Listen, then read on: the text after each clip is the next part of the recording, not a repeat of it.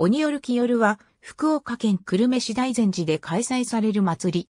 毎年1月7日の夜に、大善寺玉垂れ宮で行われる鬼洗いの祭事で、大松明六本が境内をめぐる火祭りである。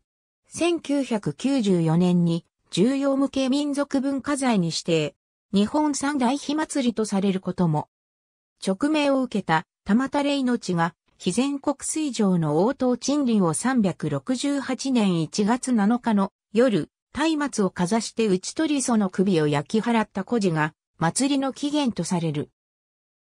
鬼夜は、大晦日の夜から1月7日までの鬼会行事のハイライトである。大晦日の夜に、門石で御神火を灯し、神職によって神殿にて守られる。神職は、それとともに、国家安泰や五国豊穣を祈願する。7日の午前中には、鬼面孫神の神事と種巻神事が取り行われる。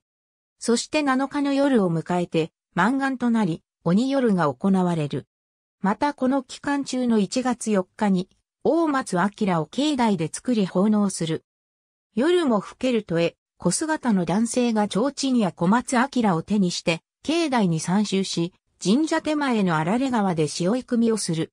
そして潮いかきの後境内の明かりがすべて消される。この時屋台の照明も消される。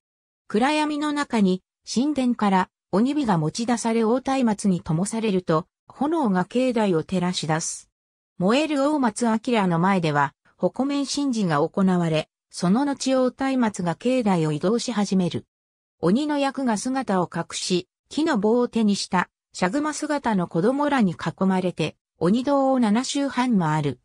大松明は総門をくぐり、本殿を周回すると順次消されて鬼よる神事の終了となる。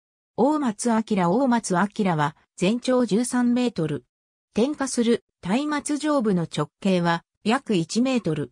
重さは約1.2トンある。妄想地区を3本束ねた芯の周囲に笹竹を寄せ、さらにその周りを間だけで包む。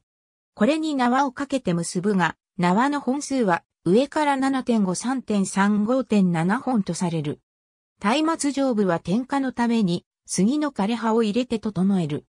松明株は鶴で縛り、尻引き綱を取り付ける。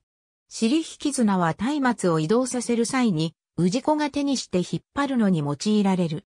大松明を移動させるとき、松明を支えるため男性は、カリマタと呼ばれる3メートルほどの二差の歌詞の棒を用いる。大松明の下で支えるため、火の粉を浴びる。ありがとうございます。